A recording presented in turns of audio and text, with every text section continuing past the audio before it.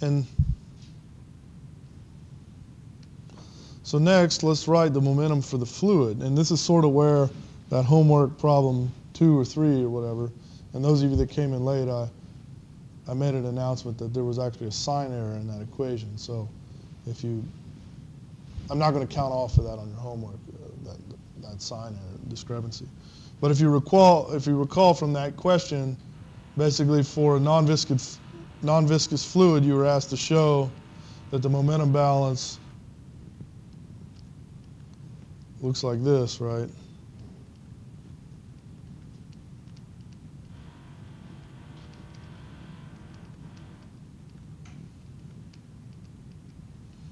So this is for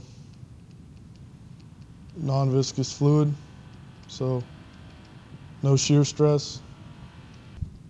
This is for a non-viscous fluid, okay?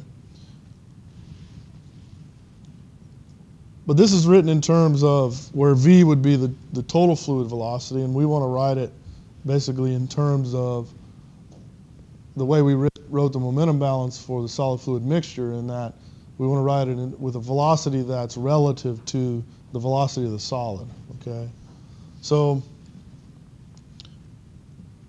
um, basically I'm going to multiply through by rho, and you'll, I'm going to leave the, the uh, grad P term here. And I'll multiply through by rho, and just to be precise, that's the density of the fluid times the body force, which I'm write this in component form, so I'll just say BI.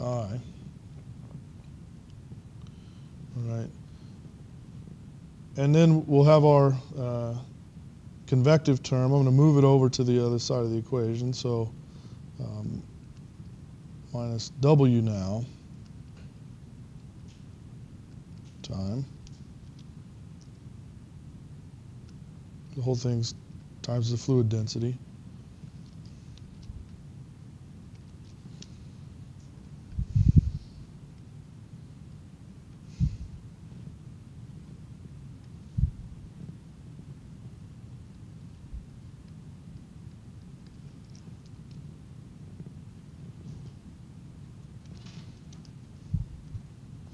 All right, so so far, I, I didn't do anything but rewrite the equation above and just replace V with W, okay?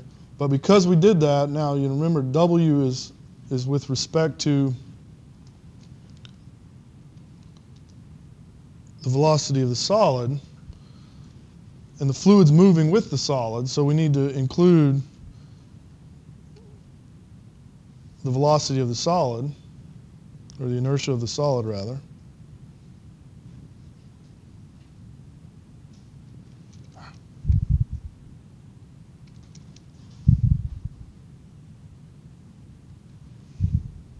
Okay, so now we have the inertia of the, the fluid moving with the solid, and we're going to add in a viscous drag term. And so right now I'm just going to call it R, right?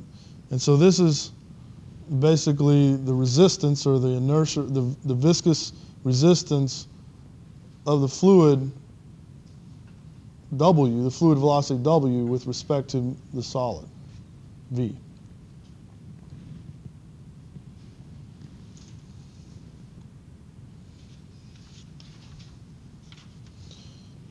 And if we use uh, a Darcy type law, we're going to say that Kij Rj is equal to Wi. Right? So where K is, you know, we'll call it a permeability tensor. So, but the way it's written, it has a little bit different units than what you're probably used to. The units of this guy are length cubed time over mass. And it's related to the typical Darcy permeability, which I'll call K prime. Uh, it's, it's related to it by dividing by the density times gravity. Uh, so this this k prime has the units you're used to units of velocity, so like length per time. Right. And you can see that that works out if you um, you know r should have units of momentum. So if you take the inverse of k and multiply by w, w has units of velocity, right? So then you have the, inver the inverse of k would be have units of mass, length cubed time, uh, and then you have uh, units of distance divided by time, and then you have units of mass, length squared time squared, which is momentum. Hmm. K prime is permeability, right? That- Permeability dimension is meter square. Yes, yes, yes. Yeah. Meter squared per time. Yeah. But this, this relation is still right. I didn't make a mistake there. So this K that we're using here, I mean, it's, it's still the permeability. We just want, we want this equation needs to be unit consistent, so it needs to have units of momentum.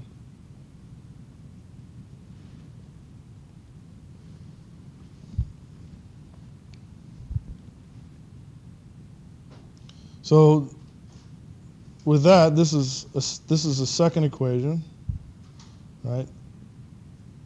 But we've basically introduced in the first equation we had two unknowns, v and w, right? Now I've added another equation, but I've added another unknown that is the pressure. Right? So now we have three unknowns in two equations, V, W, and pressure. And so we need a third equation.